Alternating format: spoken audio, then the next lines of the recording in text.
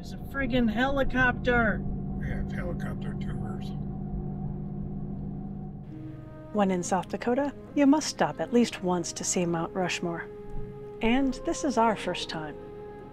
The town before the monument looks a lot like neighboring towns of national parks.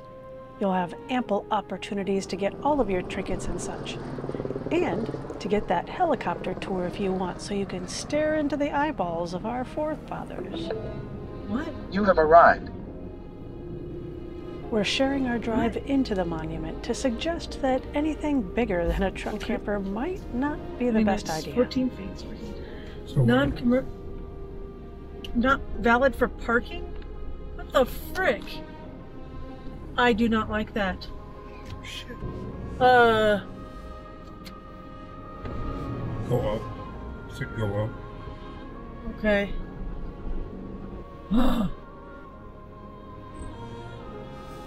I'm not a happy camper. I don't know how we do this. Oh, there's so small RVs. Can I straight. take this? You can Sure, you can try.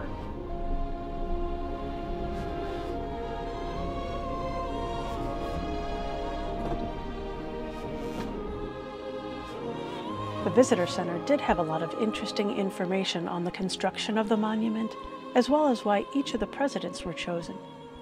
It is worth a stop, even though you'll likely be dodging people probably any day you visit.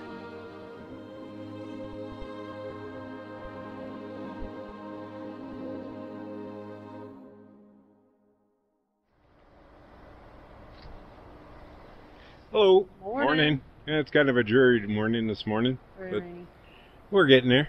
Um, yeah, we uh, we're trying to find some boondocking spots after we went to Mount Rushmore, and no bueno. I mean, there was a spot. It looked like a landfill where these guys are shooting at targets. We ended up here driving an hour from there to get to Wall Drug here, and we stayed in the parking lot. It was a pretty decent night's sleep. I actually slept through the night, which is unusual for a It was place like quiet. this. So it was nice and quiet. Nobody bugged us. So we're gonna go check out Wall Drug. It's morning, and you know what I'm going for?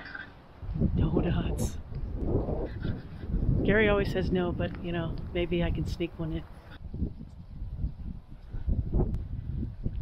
It's a busy place already at 8 o'clock. Dreary day today, though. Good time to be inside. We didn't stay long because honestly, we were both a bit cranky. I did manage to grab this picture and a few of Wall Drug's cake donuts, which are really worth those added calories. We're not big fans of large crowds or traveling more than three or four hours in a day, or traveling interstates for that matter. So, yeah, a little crabby. I decided to take a leisurely morning. We had some discussions about driving last night, so we're letting the boss drive now. So I just am And, a uh, little opinionated. it's, it's it's a nice sunny day. So we're driving. It's about 70 degrees out, so should be a nice smooth drive. And we're gonna take interstates because we're yeah we're kind of pushing it a little bit. We got to be somewhere by Tuesday in Indiana, so yeah we'll take a few four-hour, five-hour days. Get there by Tuesday. Being Sunday it shouldn't be a problem. So even though the speed limit's 80 miles an hour, which I think it's ridiculous. But we usually try to run, stay around 68, 69.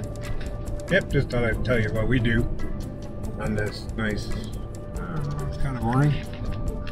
Unless you're looking at cows. You're just not sure what to do with yourself because you're not driving. Yeah, I'm not driving, so I gotta keep myself entertained. So I'm counting cows. It's a lot of counting. So far I've lost count because I guess I got too much gray hair. Yeah, just cruising along. Thought I'd talk to the camera because I'm bored. So. It's been five minutes. Oh, oh, they might be there. It still says open. Now that we're back in the Midwest, boondocking is much harder to find and is generally only available at businesses like Walmart or Cracker Barrel. So we decided to try Scenic Park RV Campground, which is right by the river in Sioux City, Nebraska. Yeah, we've got electric and water.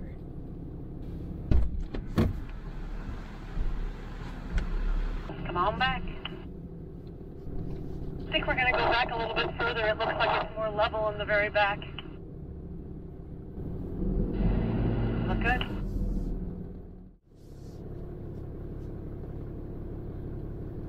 Good morning. We're doing another dump and chat. We're in Sioux City at Scenic Park. Scenic Park, Scenic Park RV Park. Camp. It's it's a city park. We had a nice river view. Uh, it was electric and water for like I think it was like $32 or something like that. So really good.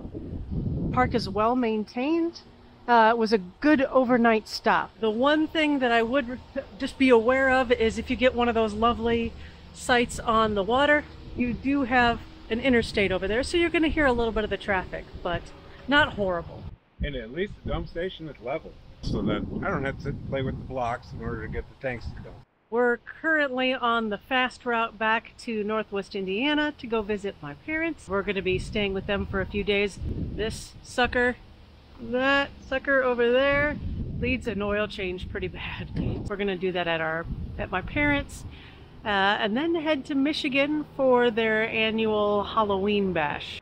Our tanks are not back to where they were, but they're pretty darn close. It took a, a few dumpings and flushings um, in order to kind of get back to where we were before being stationary. Yeah, because you dump for two months with using a tote, you don't have a way to back flush, so you don't never get all of the stuff out. We are not a fan of the disposable gloves. We seem to see these everywhere. The reusable ones that Gary has are so much better. Thank you. Iowa looks a lot like Illinois. It's a lot of corn and construction. Yep. Got the one two punch right here.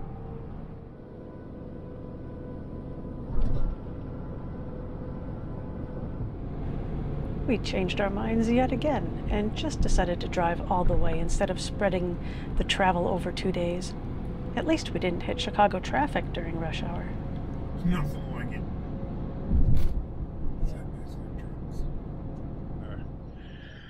We're at the in-laws' house and mooch talking, of course. But our truck decided it needed an oil change while we were on the road, so that's what I'm doing today. So while we're mooch talking, I'm under changing the oil. Yeah, I guess we kind of pushed that engine just a little bit. I showed it to you a little while ago about how to change the oil on this thing, so I won't bore you with the details again, but yeah, that's what we're doing here while we're at the in-laws for a day or so. You ever get together with family and you lose track of time? Well, that's what's happened to us. Uh, we are here at Waffle Farms in Michigan, actually, and uh, we're actually heading out. There was the Halloween festival that we ended up going here, and I, I didn't even get any of, of all the decorations, but this is always a fun time, something my mom enjoys as well, so uh, came out to help. But we're headed out, and this campground goes totally out on Halloween.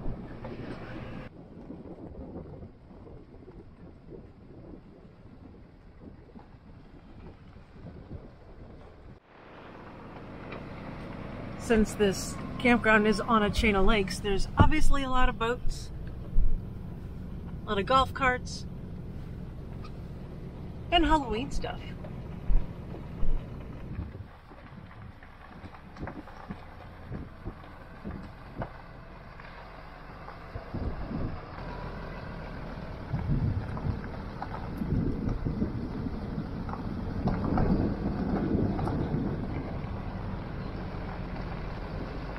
Just when you thought my truck looked different, this is awesome looking. Yours is cool too, though, man.